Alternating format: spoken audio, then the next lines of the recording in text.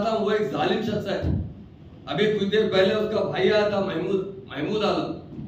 बता रहा था कि साहब, हमारा भाई तो हमारे प्रॉपर्टियाँ बेच के खा गया है। हम पे जुल्म कर रहा है। वो उसका जाती मामला है, जो भी है, कर ले तू। हमसे कोई वास्ता नहीं।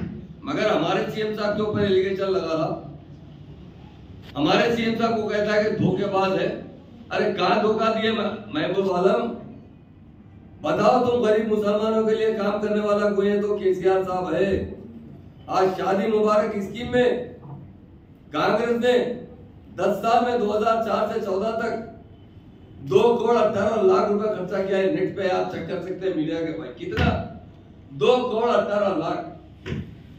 और सीएम साहब ने कितना किया? वही वो दस साल में दिए। हम नौ साल, चार महीने के अंदर दो हज़ार तीन सौ करोड़ देने वाला कोई लीडर है तो केसीआर है। अब आप जाते नेट पे चेक कर सकते हम कोई गलत बात तो नहीं कर सकते आपके सामने। ऐसे आदमी को जो गरीब मुसलमानों के जो औरतें हैं उनकी बीवियों के जिस लड़कियों की शादी उनके माँ के अकाउंट में इतने पैसे जमा करने वाला कोई लीडर हिंदुस्तान में है तो बता दीजिए मुझे। उसी तरह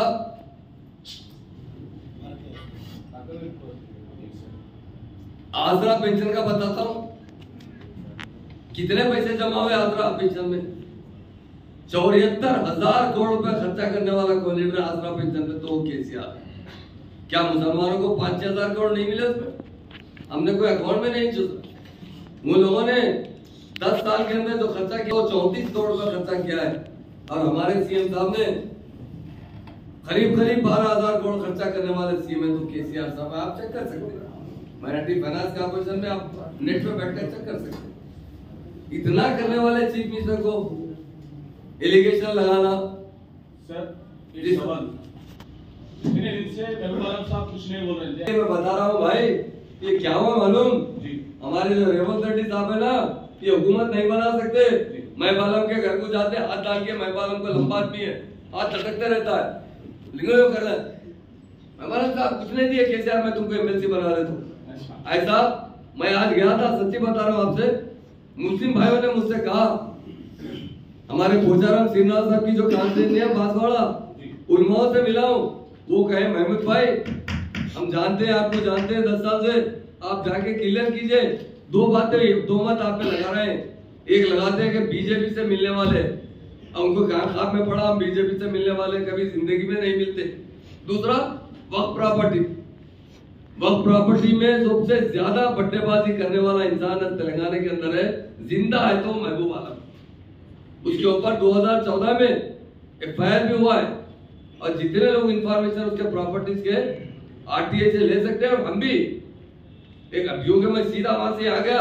आते आते हमारे मसीह भाई चेयरमैन साहब को बोला, आप भी आ जाओ भाई, ताकि हमारे मीडिया बैंक सामने रहेंगे। तो अब तक एक्शन क्यों नहीं लिया सर उनके ऊपर जो एफआईआर है और उन अब इल्ज़ाम ये लगा रहे कि 40 से ज़्यादा स्कूल कॉलेजेस साहब बन गए साहब वो स्कूल्स को बंद किया गया इंजीनियरिंग कॉलेज को जो खाली सीएम साहब के जो फंड पे चलते थे वो एक उनके स्टूडेंट का रिज़ल्ट बहुत खराब था। वो इंजीनियरिंग कॉलेज का रिज़ल्ट नहीं आ रहा था। मैं था एक दिन एक कंपनी का आदमी सीएम साहब से आके कहा साहब मैं आपके स्टेट में आकर इंटरव्यू लिया हूँ। मेरे कुछ इंजीनियर चाहिए था। दुबई से वो शख्स आपकी स्टेट के पूरे के पूरे बच्चे फेल हो गए साहब। मैं एक को भी सेलेक्ट नहीं कर सका। आपके बच्चों का स्टैंडर्ड जब स्टैंडर्ड देखेगा तो खाली अटेंडेंस थी बच्चों की और हमारे सीएम साहब के पास से फंड मिल रहा था। माइनॉरिटी फाइनेंस कॉर्पोरेशन का फंड मिल रहा था। उसके तहत स्कूल चल रहा है और अब बताएँगे आपको। अब बताएँगे आप ज़रूर पूछिए अब बताएँगे, हम जो हमारे बच्चे जो टेबलिस में पढ़ा रहे हैं ना, ये बच्चों को आगे दाखिला दिलाने के लिए बहुत से इंजीनियरिंग कॉलेज खोलेंगे आईटी कॉलेजेस खोलेंगे अच्छी तरीके से मुसलमानों को एजुकेशन दिया जाएगा। अब जैसा अभी आप महबूब आलम साहब के बारे में बोले कि उनके ऊपर जो वॉक प्रॉपर्टीज़ के रहे हैं और बहुत सारे मीडिया में न्यूज़ भी आए थे कि मुमताज़ कॉलेज उनका कब्जा है वहाँ। दोबारा आपकी हुकूमत आएगी तो आपकी हुकूमत क्या एक्शन सिर्फ़ ये इलेक्शन की हद तक नहीं, नहीं, नहीं। इसका कुछ साहब आप वेट डेफिनेट मैं बता रहा हूँ पच्चीस तारीख को पेपर आपको पूरे प्रूफ दूँगा कितने केसेस है मसीबा आपको बता।